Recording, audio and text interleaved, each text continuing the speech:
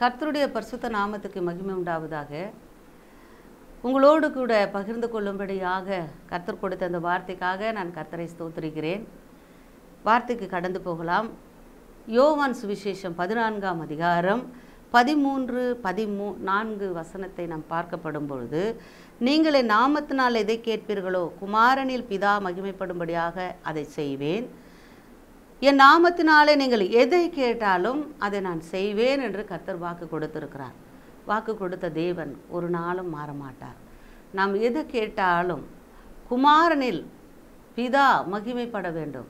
மகிமைப்படும்படியான காரியங்களை நீங்கள் கேட்க வேண்டும். கத்து நாம் சோத்துறோம் நான் கேட்குறேன். எனக்கு எதுவுமே கிடைக்கல. இவ்வளோ நாளாக நான் ஜோம் பண்ணுறேன் எனக்கு இதனுடைய காரியம் வாய்க்கவே இல்லை அப்படின்னு சொல்லி நீங்கள் சொல்கிறதா இருந்தால் நீங்கள் கேட்கிற காரியம் கர்த்தர் சொல்லுகிற வார்த்தை பிதா குமாரனில் மகிமைப்படும்படியான காரியமாக இருந்தால் நிச்சயமாக கீழே சொல்கிறாரு நாமத்தினால் நீங்கள் எதை கேட்டாலும் அதை நான் செய்வேன். மத்திய சுசேஷத்தில் சொல்கிறார் ஏழாம் அதிகாரம் ஏழு எட்டில் கேளுங்கள் அப்பொழுது உங்களுக்கு கொடுக்கப்படுன்றார் ஏனெனில் கேட்கிறவனவனும் பெற்றுக்கொள்கிறான் பெற்றுக்கொள்கிறான் என்று உறுதியாய் கர்த்தர் உங்கள் மத்தியில் சொல்லுகிறவராக இருக்கிறார் கேட்கணும் ஆண்டவரிடத்தில் கேட்டு பெற்றுக்கொள்ளக்கூடிய காரியங்களை கேட்டால் நிச்சயமாய் தருவார். கர்த்த நாம் சோத்துறோம். ஏன் என்று சொன்னால் நாம் பிதாவினுடைய சுதந்திரமாய் காணப்படுகிறோம். அவர் தம் இயேசு கிறிஸ்து தம்முடைய ரத்தத்தினாலே நம்மளை மீட்டு கொண்டு அவருடைய பிள்ளைகள் என்று நமக்கு அதிகாரம் கொடுத்துருக்கிறாரே. அப்போ அப்படிப்பட்ட ஒரு சூழ்நிலையில் நாம் என்ன செய்யணும் அப்படின்னு சொல்லும் பொழுது நமக்கு கேட்க வேண்டிய காரியங்கள் அவருக்கு பிரியமானதாய் இருந்தார். ஒருவேளை குமாரனில் பிதா மகிமைப்படும்படியான காரியமாக இருந்தால் அதை நிச்சயமாய் கர்த்தர் உங்களுக்கு செய்வார். அப்போது ஏச தீர்க்கதரிசி சொல்கிறாரு நாற்பத்தி நான்காம் அதிகாரம் ஐந்தாம் வசனத்திலே சோத்திரம். நாற்பத்தி நான்கு ஐந்து என்ன சொல்லுதுன்னு சொன்னால் நாமம் என்றால் என்ன? கர்த்தனாம் சோத்திரம். நாமம் சொன்னால் அது ஒரு அதிகாரம். எப்படி? அப்படின்னு கே கேட்குறீங்களா நாமம் பெயர். நமக்கு நம்ம என்ன சொல்கிறோம் நாமன்னா ஒரு பேர்? ஏசு கிறிஸ்துனுடைய பேர்னால நான் கேட்குறேன். இங்கே வசனம் என்ன சொல்லுதுன்னா அவருடைய நாமம் சொன்னால் ஒரு அதிகாரம். ஒரு ஆஃபீஸில் வேலை செய்கிறவங்க அவங்க வந்துட்டு கெஸ்டட் ஆஃபீஸராக இருந்தால் பச்சை இங்கில் கையெழுத்து போடுவாங்க. அப்போ அது அது ஒரு அதிகாரம். அவங்க கையில் கொடுத்துருக்கிற ஒரு அதிகாரத்தினாலே அவங்க பச்சை இங்கில் கையெழுத்து போடுவாங்க. அப்போ அந்த நாமத்தின் அதிகாரம் என்னன்னு சொன்னால் அந்த பதவியில் இருக்கிற வரைக்கும் அவங்களுக்கு அதிகாரம் உண்டு. எதையும் சாதிக்கிறதுக்கு எதையும் செயல்படுத்துறதுக்கு அவங்களுக்கு அதிகாரம் உண்டு. இதுதான் அந்த நாமம் என்கிற ஒரு அதிகாரம். அப்போது ஏசா தீர்க்கதரிசி என்ன சொல்கிறார் பார்ப்போம் இப்போ நாற்பத்தி நான்காம் அதிகாரம் ஐந்தாம் வசனத்தில் ஒருவன் நான் கர்த்தருடையவன் என்பான் ஒருவன் யாக்கோபின் பேரை தரித்து கொள்வான் ஒருவன் தான் கர்த்தருடையவன் என்று கையெழுத்து போட்டு இஸ்ரவேலின் நாமத்தை தரித்து கொள்வான். இங்கே பாருங்கள் அப்போது நீங்களும் நானும் கர்த்தருடையவர்கள் என்று தைரியமாய் சொல்லுகிறோம். அந்த அதிகாரத்தை அவருடைய நாமத்தினாலே நமக்கு கொடுத்துருக்கிறார். எப்படி?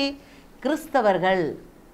கிறிஸ்தவன் கிறிஸ்தவள் என்று சொல்லக்கூடிய காரியம் இதனாலே வந்தது. கிறிஸ்துவினுடைய அதிகாரம் நம் மேலே ஊற்றப்பட்டிருக்கு. அவருடைய நாமத்தை நாம் தரித்து கொண்டிருக்கிறோமே.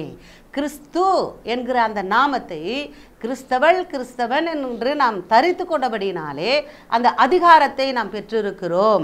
இங்கே பாருங்க அழகாக சொல்கிறாரு கர்த்தருடையவன் என்று கையெழுத்து போட்டு இஸ்ரவேலின் நாமத்தை தரித்து கொள்வானாம்.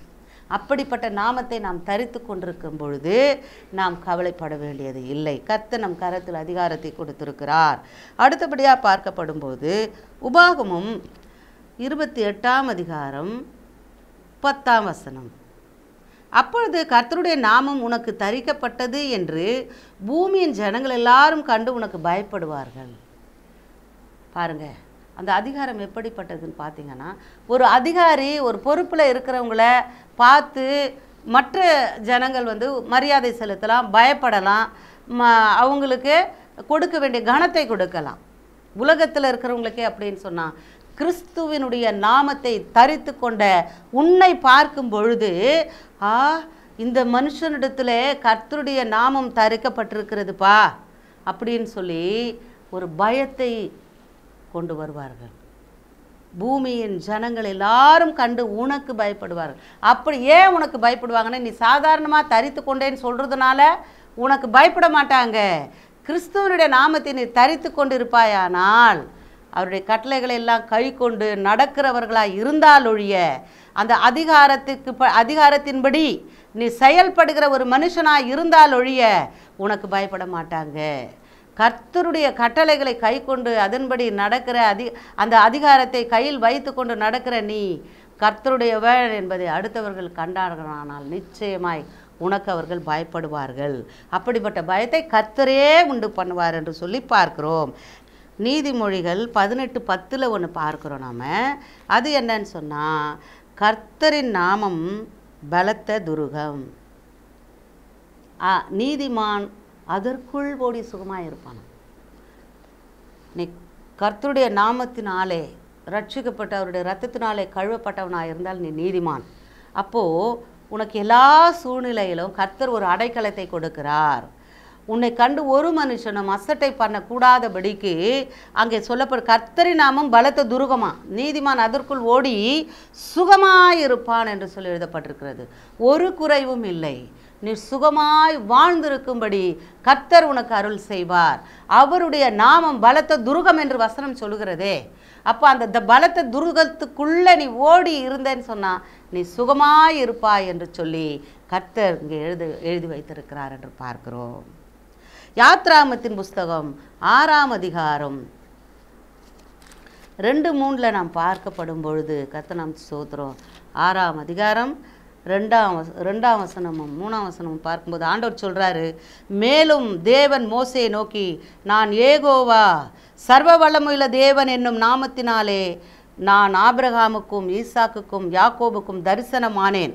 ஆனாலும் ஏகோவா என்னும் என் நாமத்தினாலே நான் அவர்களுக்கு அறியப்படவில்லை என்று சொல்லுகிறார். பாருங்க கத்தனாம் சூத்திரம் அவர் ஏகோவா அவரிடத்தில் அதிகாரமுடி ஏகத்தையும் உலகத்தையும் ஆள்கிறதான ஒரு அதிகாரி யாருன்னு சொன்னால் இந்த அண்ட சராசரங்களை உண்டாக்கின ஏகோவா என்கிற நாமம் உள்ளதான ஆண்டவராகிய இயேசு கிறிஸ்து. பழைய ஏற்பாட்டிலே பிதாவாகிய தேவனுக்கு அது. நாம் புதிய ஏற்பாட்டு காலங்களில் இருக்கிறோம். ஆண்டவராக இயேசு கிறிஸ்து சகலத்தையும் ஆண்டு கொள்கிறதான அதிகாரத்தை படைத்தவராய் இருக்கிறார் என்று பார்க்கிறோம். ஆகையினாலே அவருடைய நாமம் கத்தனம் சோத்ரோ ஏகோவா என்னும் நாமம். நமக்கு அவர் அறியப்பட்டிருக்கிறார். ஒருவேளை ஆபிரகாம் ஈசாக்கு யாக்கோப் என்பவர்களுக்கு அவர் அறியப்படவில்லை. ஆனால் சர்வ வல்லமுள்ள தேவன் என்கிற நாமத்தினாலே அவர்களிடத்திலே அவர் அறியப்பட்டிருந்தார். நமக்கு ஏகோவா என்கிற நாமத்தினாலே அவர் அறியப்பட்டிருக்கிறார் என்று சொல்லி பார்க்கிறோம். அப்போ சிலர் நாலு பன்னெண்டாம் நான்காம் அதிகாரம். அப்போ சிலர் புத்தகத்தில் நடபடிகள் புஸ்தகத்தில் நான்காம் அதிகாரம் சோத்திரம். பன்னெண்டாம் வசனம் சொல்லுகிறது அவராலே அன்றி வேறு ஒருவராலும் ரட்சிப்பில்லை. நாம் ரட்சிக்கப்படும்படிக்கு வானத்தின் கீழெங்கும் மனுஷர்களுக்குள்ளே அவருடைய நாமமே அல்லாமல் வேறொரு நாமம் கட்டளையிடப்படவில்லை என்று சொல்லி. பாருங்கள் இதுதான் அதிகாரம். இந்த உலகம் முழுவதிலும் உலகத்தில் வேதத்தில் பார்க்குறோம் எஸ்தர் ராஜாத்தி புஸ்தகத்தில் எஸ்தர் புஸ்தகத்தில் இந்து தேசம் முதல் எத்தியோப்பியா வரையில் நூற்றி இருபத்தேழு நாடுகளை அரசாண்டா அகாசுரன் ஆனால் இன்றைக்கு காலகட்டங்களில் உலக நாடுகள் இன்னும் விரிந்து பறந்து இருக்கிறது. அப்போது அந்த விரிந்து பறந்த இந்த உலகம் முழுமைக்கும் இவருடைய நாமம் தான் ரட்சிப்புக்கு ஏதுவான நாமம். இவருடைய நாமத்தினால ரட்சிக்கப்பட்டால் ஒழிய வேறு ஒருவரும் பரலோக ராஜ்யத்துக்கு போகவே முடியாது. இவருடைய ரத்தத்தினாலே கழுவப்பட வேண்டும். இவருடைய நாமத்தினாலே ரட்சிப்பை பெற்றிருக்க வேண்டும். இவர் சிந்தின ரத்தம் சகல பாவங்களை நீக்கி சுத்திகரிக்கும் என்று சொல்லப்பட்டிருக்கிறதே. ஒரு மனுஷனை பரலோகத்துக்கு கொண்டு போகிறது அவருடைய ரத்தம் அவருடைய நாமத்தின் அதிகாரம் மகிமை. இதை ஒவ்வொருவரும் பெற்று பெற்றுக்கொண்டால் ஒழிய பரலோகத்துக்கு போகவே முடியாது என்று சொல்லி வசனம் சொல்லுகிறது. ரெண்டு நாளாகும் ஏழு பதினாலில் பார்க்குறோம்.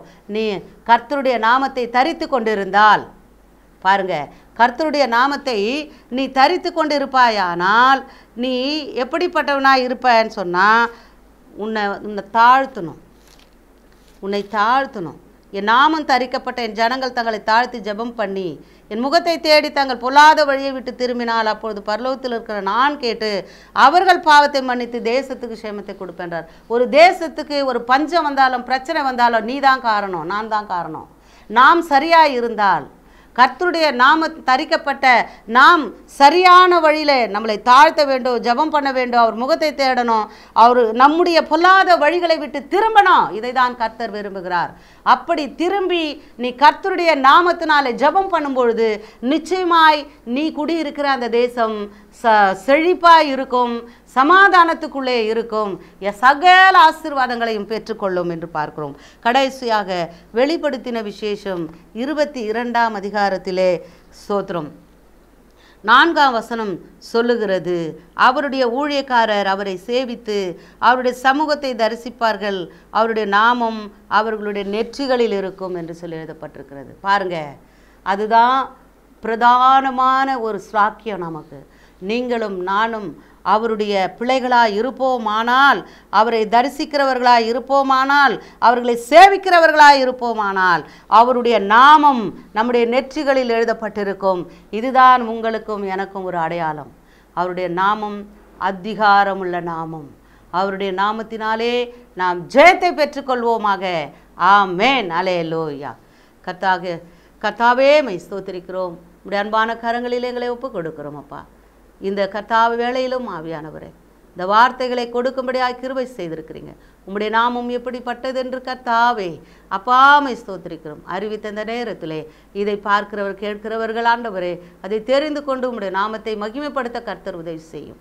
ஆசீர்வதியும் பலப்படுத்தும். ஏசு கிருஷ்ணன் வளமுள்ள நாமத்தில் பிதாவே ஆமென்.